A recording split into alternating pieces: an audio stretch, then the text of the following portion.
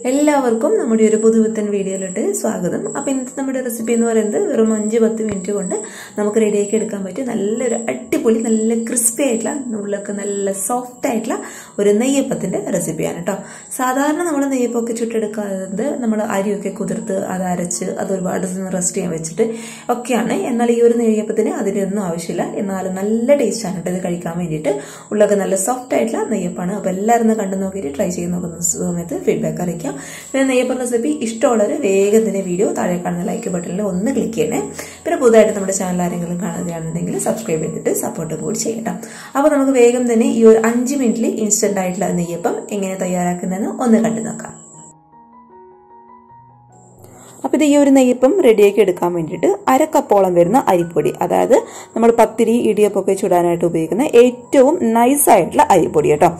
അതിപ്പോ അരക്കപ്പോളം കപ്പോളം വരുന്ന ഭാഗം നമുക്കിത് ഈ ഒരു പാത്രത്തിലോട്ട് അങ്ങോട്ട് ഇട്ട് പിന്നെ നമ്മൾ ചേർത്ത് കൊടുക്കാൻ വേണ്ടിയിട്ട് പോകുന്നത് ഒരു രണ്ടര ടേബിൾ സ്പൂൺ അളവിൽ മൈദയാണ് കേട്ടോ അപ്പോൾ പൊടികളൊക്കെ എടുക്കുന്ന സമയത്ത് അളവ് കറക്റ്റ് ആയിട്ട് എടുക്കാൻ വേണ്ടിയിട്ട് ശ്രദ്ധിക്കുക.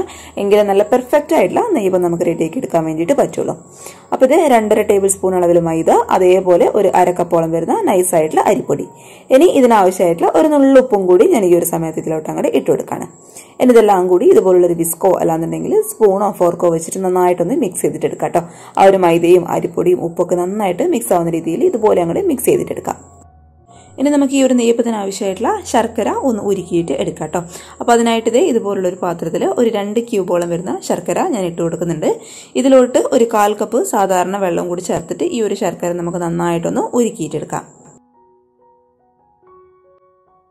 അപ്പോൾ ഇത് ശർക്കരയൊക്കെ അത്യാവശ്യം നന്നായിട്ട് ഇതുപോലെ ഒന്ന് ഉരുകി വന്നിട്ടുണ്ട് കേട്ടോ ഇനി ഇത് നമുക്ക് മറ്റൊരു പാത്രത്തിലോട്ട് മാറ്റി കൊടുക്കാം. അപ്പോൾ മാറ്റി കൊടുക്കുന്നതിന് മുന്നേ ഈ ഒരു ശർക്കര പാനിയിൽ എന്തെങ്കിലും അഴുക്കും കല്ലും കാര്യങ്ങളൊക്കെ ഉണ്ടെന്നുണ്ടെങ്കിൽ അരിപ്പയിൽ കൂടി ഒന്ന് അരിച്ചെടുത്തതിന് ശേഷം നമുക്ക് മറ്റൊരു പാത്രത്തിലോട്ട് ഇതങ്ങൾ മാറ്റി കൊടുത്തേക്കാം. ഇനി ഇത് അതേ ഒരു പാനിൽ തന്നെ ഒരു ടീസ്പൂൺ അളവിൽ നെയ്യാണ് കേട്ടോ ഞാൻ ഒഴിച്ചു കൊടുക്കുന്നത്. ആ ഒരു നെയ്യ് അത്യാവശ്യം ഇതുപോലെ ഒന്ന് ചൂടായിട്ട് മെൽട്ടായിട്ട് വരുന്ന സമയത്ത് ഒരു കാൽ കപ്പോളം വരുന്ന തേങ്ങാക്കൊത്ത് നമുക്ക് ഈ ഒരു ചൂടായ നെയ്യിലോട്ട് അങ്ങോട്ട് ഇട്ട് കൊടുത്തേക്കാം. അപ്പോൾ തേങ്ങാക്കൊത്ത് നമുക്ക് അത്യാവശ്യം ഒന്ന് ബ്രൗൺ കളറാക്കി എടുക്കേണ്ട ആവശ്യമുണ്ട്. അപ്പോൾ തേങ്ങാക്കൊത്ത് ഇതുപോലെ നെയ്യിലോട്ട് ഇട്ട് കൊടുത്തിട്ട് നന്നായിട്ട് നമുക്കൊന്ന് റോസ്റ്റ് ചെയ്തിട്ട് എടുക്കാം. തേങ്ങാക്കൊത്തിന്റെ കളർ അത്യാവശ്യം ഇതുപോലെ ഒന്ന് മാറി വരുന്ന സമയത്ത് ഒരു ടീസ്പൂൺ അളവിൽ കറുത്ത എള്ളും കൂടി നമുക്ക് ഇതിലോട്ട് അങ്ങോട്ട് ചേർത്ത് കൊടുത്തേക്കാം കേട്ടോ ഇതൊക്കെ തേങ്ങാക്കൊത്തും എള്ളൊക്കെ ഡയറക്റ്റ് ആയിട്ട് മാവിൽ ചേർക്കുന്നവരുണ്ട്. അല്ലാന്നുണ്ടെങ്കിൽ ഇതുപോലെ ചേർത്ത് കൊടുക്കുകയാണെന്നുണ്ടെങ്കിൽ നമ്മുടെ മാവിന് നല്ലൊരു നെയ്യുടെ ഫ്ലേവർ ഉണ്ടാകും കേട്ടോ. അപ്പോൾ അതിന് വേണ്ടിയിട്ടാണ് തേങ്ങാക്കൊത്തും ആ ഒരു എള്ളും ഇതുപോലെ ഒന്ന് നമ്മൾ നെയ്യിലിട്ടിട്ടൊന്ന് റോസ്റ്റ് ചെയ്തെടുക്കുന്നത്. ഇനി ഇത് നമുക്ക് മറ്റൊരു പാത്രത്തിലോട്ട് അങ്ങ് മാറ്റി കൊടുത്തേക്കാം. ഇനി ഇത് നല്ല ക്ലീൻ ആയിട്ട് കിടക്കുന്ന ഒരു മിക്സിയുടെ ജാറിലോട്ട് നമ്മൾ നേരത്തെ മിക്സ് ചെയ്ത് വെച്ചിട്ടുള്ള ആ ഒരു അരിപ്പുഴയുടെയും മൈദയുടെയും മിക്സ് നമുക്ക് മുഴുവനായിട്ടും ഇതിലോട്ട് അങ്ങോട്ട് ചേർത്ത് കൊടുക്കാം കേട്ടോ ഇതിപ്പോൾ ഞാനിപ്പോൾ ഈ ഒരു അളവിൽ മൈദയും അരിപ്പൊടിയും എടുത്തുകൊണ്ടാണ് ഇത്ര കുറച്ച് മാത്രം നിങ്ങൾ ഒരുപാട് മൈദയും അരിപ്പൊടിയൊക്കെ എടുക്കുന്നവരാണെന്നുണ്ടെങ്കിൽ രണ്ട് ട്രിപ്പായിട്ട് മിക്സിയുടെ ജാറിലിട്ട് ഇത് മിക്സ് ചെയ്തിട്ട് എടുക്കാം കേട്ടോ ഞാനിപ്പോൾ കുറച്ചായതുകൊണ്ട് ഇത് മുഴുവനായിട്ടും ഈ ഒരു ജാറിലോട്ട് അങ്ങോട്ട് ഇട്ട് കൊടുക്കുകയാണ് നമ്മൾ നേരത്തെ ഉരുക്കി മാറ്റി വെച്ചിട്ടുള്ള ശർക്കരപ്പാനി നമുക്ക് ഈ ഒരു മിക്സിയുടെ ജാറിലോട്ട് അങ്ങോട്ട് ഒഴിച്ചു കൊടുക്കാം. അപ്പോൾ ഈ ഒരു ശർക്കരപ്പാനിക്ക് അത്യാവശ്യം ഒരു ഇളം ചൂടുണ്ട് കേട്ടോ. ഒരുപാട് തണുത്തിട്ടുള്ള ശർക്കരപ്പാനിയില്ല അത് അതേസമയം നല്ല ചൂടുള്ള ശർക്കരപ്പാനിയില്ല നമുക്ക് കൈയൊക്കെ കുത്താൻ പാകത്തിലുള്ള ഒരു ഇളം ചൂട് ഈ ഒരു ശർക്കരപ്പാനിക്ക് ഉണ്ട്. ഇനി നല്ലൊരു ഫ്ലേവറിന് വേണ്ടിയിട്ട് ഒരു ഏലക്കായ ഇതുപോലെ ഞാൻ അങ്ങോട്ട് ഇട്ട് കൊടുക്കുകയാണ് പിന്നെ ഒരു കാൽ ടീസ്പൂൺ അളവിൽ ചെറിയ ജീരകം കൂടി കേട്ടോ. അപ്പോൾ ഏലക്കായും ചെറിയ ജീരകമൊക്കെ ചേർക്കുന്ന സമയത്ത് അത് നിങ്ങളുടെ ആ ഒരു ഫ്ലേവറിനനുസരിച്ച് ചേർക്കുക. നല്ല ഫ്ലേവർ ഇഷ്ടമാണെന്നുണ്ടെങ്കിൽ കൂടുതൽ ചേർത്ത് കൊടുത്തോളൂ. ഇനി ഇതെല്ലാം എല്ലാം കൂടി നമുക്ക് നന്നായിട്ടൊന്ന് അരച്ചിട്ട് എടുക്കാം. ഇനി അരച്ചെടുത്തിട്ടുള്ള മിക്സിയുടെ ജാറിലോട്ട് ഒരു കാൽ കപ്പ് സാധാരണ ചൂടുവെള്ളം കൂടി ചേർത്തിട്ട് നമുക്ക് ഈ ഒരു മാവിലോട്ട് അങ്ങോട്ട് ഒഴിച്ചു കൊടുത്തേക്കാം കേട്ടോ. ഇനി ഇതിലോട്ട് നമ്മുടെ അപ്പത്തിന് നല്ലൊരു ക്രിസ്പിനെസ് കിട്ടാൻ വേണ്ടിയിട്ട് ഒരു ടേബിൾ സ്പൂൺ അളവിൽ വറുത്തിട്ടുള്ളോ അല്ലാന്നുണ്ടെങ്കിൽ വറുക്കാത്തയോ റവ നമുക്ക് ചേർത്ത് കൊടുക്കാം കേട്ടോ. അതിപ്പോൾ വറുത്തതായാലും വറുക്കാത്തതായാലും എന്തായാലും കുഴപ്പമില്ല. പിന്നെ നമ്മൾ ഇതിലോട്ട് ചേർത്ത് കൊടുക്കാൻ വേണ്ടിയിട്ട് പോകുന്നത് നമ്മൾ നേരത്തെ വറുത്ത് കോരി മാറ്റി വെച്ചിട്ടുള്ള ആ ഒരു തേങ്ങാക്കൊത്തിന്റെയും എള്ളിന്റെയും മിക്സാണ് അതും കൂടി നമുക്ക് ഇതിലോട്ട് അങ്ങോട്ട് ചേർത്ത് കൊടുത്തേക്കാം. നന്നായിട്ട് ഇതെല്ലാം കൂടി ഒന്ന് മിക്സ് ചെയ്ത് കൊടുത്തതിന് ശേഷം പിന്നെ അവസാനമായിട്ട് നമ്മൾ ഇതിലോട്ട് ചേർത്ത് കൊടുക്കാൻ വേണ്ടിയിട്ട് പോകുന്നത് ഒരു കാൽ ടീസ്പൂൺ അളവിൽ ബേക്കിംഗ് സോഡയാണ് കേട്ടോ ബേക്കിംഗ് സോഡ ചേർത്ത് കൊടുക്കുന്ന സമയത്ത് പ്രത്യേക ഒരു കാര്യം ശ്രദ്ധിക്കുക. അതിന്റെ അളവ് ഒരുപാട് അങ്ങോട്ട് കൂടണ്ട കേട്ടോ കൂടി പോയി കഴിഞ്ഞാൽ നമ്മൾ ഈ ഒരു മാവ് എണ്ണയിലോട്ട് ഇടുന്ന സമയത്ത് അത് വീർത്ത് ആ ഒരു അപ്പം അങ്ങോട്ട് പൊട്ടാൻ വേണ്ടിയിട്ട് തുടങ്ങും. അതുകൊണ്ട് ഒരു കാൽ ടീസ്പൂൺ അളവിൽ മാത്രം ചേർത്ത് കൊടുത്താൽ മതിയേ.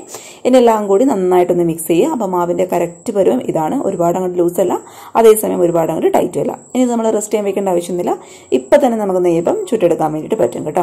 അപ്പോൾ അത്യാവശ്യം എണ്ണ ഇതുപോലെ ഒന്ന് ചൂടാകുന്ന സമയത്ത് തീ എന്ന് പറയുന്നത് ഒരു മീഡിയം ഫ്ലെയിമിലോട്ട് വെച്ചിട്ട് നമുക്ക് ഒരു അരത്തവി മാവ് ഒരുപാട് മാവ് വേണ്ട ഒരുപാട് മാവ് ഒഴിച്ചു നമുക്ക് ഉള്ളൊക്കെ വെന്ത് കിട്ടാനായിട്ട് ബുദ്ധിമുട്ടായിരിക്കും. അപ്പോൾ അരത്തവി മാവ് നമുക്കിത് ചൂടായ എണ്ണയിലോട്ട് അങ്ങോട്ട് ഒഴിച്ചു കൊടുക്കാം തീ എപ്പോഴും ഒരു മീഡിയം ലോ ടു മീഡിയം ഫ്ലെയിമിൽ ഇട്ട് കൊടുക്കാം കേട്ടോ. എന്നിട്ട് ഒരു സൈഡ് ഇതുപോലെ അങ്ങോട്ട് പൊങ്ങി വരുന്ന സമയത്ത് ഒരു സ്പൂൺ വെച്ചിട്ട് പതുക്കെ നമുക്ക് എണ്ണ ഇത് ഇതിന്റെ മുകളിലോട്ട് അങ്ങോട്ട് കോരി ഒഴിച്ചു കൊടുക്കാം കേട്ടോ എങ്കിൽ നമ്മുടെ ആ ഒരു മുകൾ ഭാഗമൊക്കെ നന്നായിട്ട് വെന്ത് അങ്ങോട്ട് പൊങ്ങി വരും. അപ്പോൾ ഇതുപോലെ ഒന്ന് ഒഴിച്ചു കൊടുത്തിട്ട് അടിവശം നന്നായിട്ടൊന്ന് മുരിഞ്ഞ് വരുന്ന സമയത്ത് പതുക്കെ നമുക്ക് അങ്ങോട്ട് മറച്ചിട്ട് കൊടുക്കാം രണ്ട് സൈഡും ഇതുപോലെ ഒന്ന് മുരിഞ്ഞ് വരുന്ന സമയത്ത് ഇത് പതുക്കെ നമുക്ക് എണ്ണയിൽ നിന്ന് അങ്ങോട്ട് കോരി മാറ്റിയേക്കാം.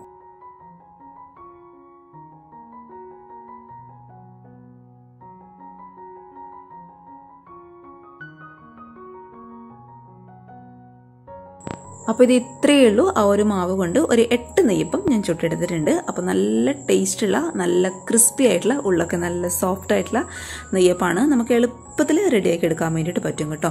അപ്പോൾ ഈ ഒരു ഈ രീതിയിൽ റെഡിയാക്കി എടുക്കുന്നതുകൊണ്ട് ഇതിന്റെ ടേസ്റ്റിലൊന്നും യാതൊരു വ്യത്യാസവും ഇല്ല. അപ്പോൾ എല്ലാവരും ഒരു തവണ ഒന്ന് ട്രൈ ചെയ്ത് നോക്കാൻ പറ്റുന്ന ഒരു റെസിപ്പിയാണ് കേട്ടോ. അപ്പോൾ തീർച്ചയായിട്ടും ഒന്ന് ട്രൈ ചെയ്ത് നോക്കുന്ന സമയത്ത് ഉറപ്പായിട്ടും ഫീഡ്ബാക്ക് അറിയിക്കുക. പുറമേ നല്ല ക്രിസ്പിയാണ് അതേപോലെ ഉള്ളിൽ ഒരു അടിപൊളി സോഫ്റ്റ് ആയിട്ടുള്ള നെയ്യപ്പാണ്. നിങ്ങൾക്ക് ഉള്ളൊക്കെ കാണുമ്പോൾ തന്നെ മനസ്സിലാവുന്നുണ്ടാവും.